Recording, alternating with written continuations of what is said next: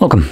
In front of me is a Nubia Z60 Ultra and today I will show you how you can enable and set up your portable hotspot.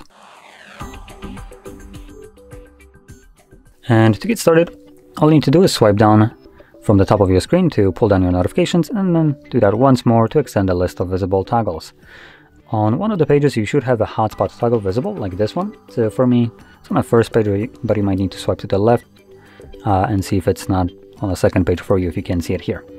Anyway, once you have the toggle visible, you can hold it the first time around and it will quickly take you to the settings. And here you're just gonna select set up Wi-Fi hotspot and you wanna select hotspot password. Now this is a pretty simple password. Uh, chances are this isn't the default, so if yours is just combination of letters and numbers all just random, uh, I would recommend removing it and setting up your own new password, which will need to have at least 8 characters in length. That can be letters, numbers, uh, or both. And that's really the only thing that I recommend changing here, so from here we can close this, find the toggle once more, and simply tap on it to enable your hotspot.